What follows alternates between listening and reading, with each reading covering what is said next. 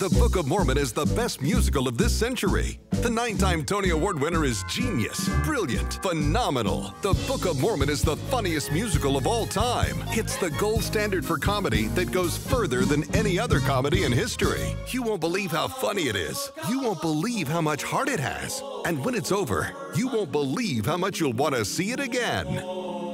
The Book of Mormon, May 3rd, 4th, and 5th at West Herr Auditorium Theater. Tickets at Ticketmaster.com.